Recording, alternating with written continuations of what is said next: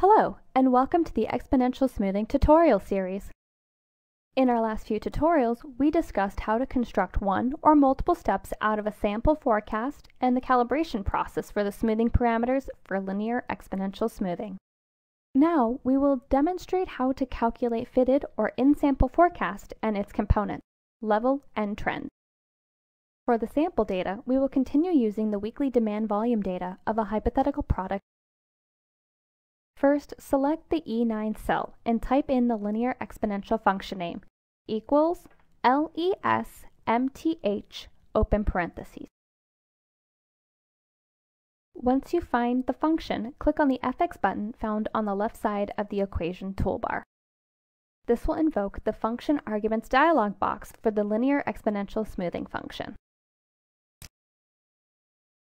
For the input data, select the whole cell range corresponding to the demand volume data, which is C9 to C102. Lock the cell range by pressing F4. For the time order in the input data, type in true or 1 to designate the first observation, C9, as the earliest observation. For the alpha value, select the cell in D1. The value in D1 was calculated during the calibration process using the whole dataset.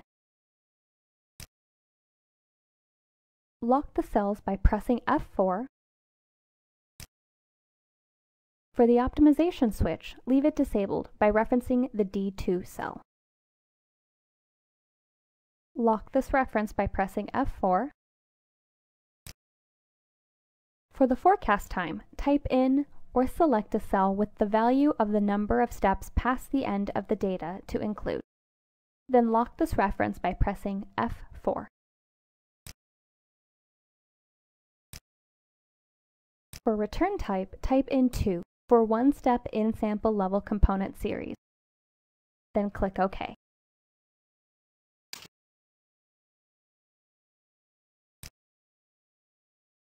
The function returns the first value in the array.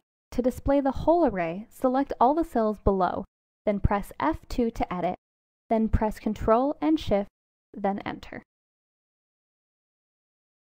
The selected cells are now populated with the array values, and the formula is surrounded by italic braces. For trend component values, copy the formula from E10.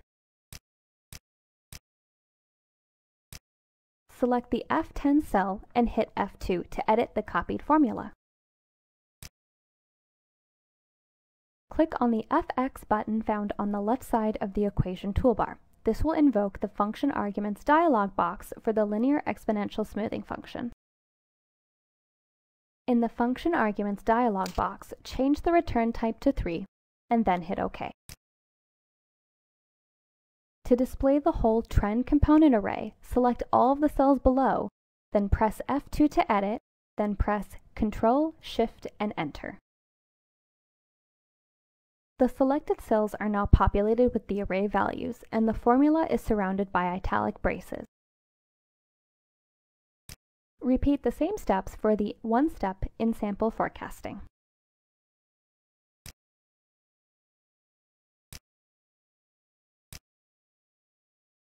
Change the return type to 4, which is the in-sample forecasting. Then click OK.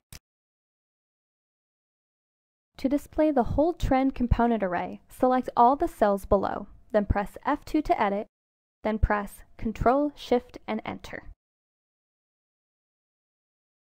The cells are now populated with the array values and the formula is surrounded by italic braces.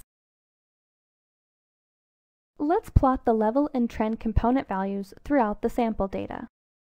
The magnitude values of level and trend are very different. So for illustration, we plotted the level series using the left-hand axis and the trend component using the right-hand axis. That's all for now. Thank you for watching.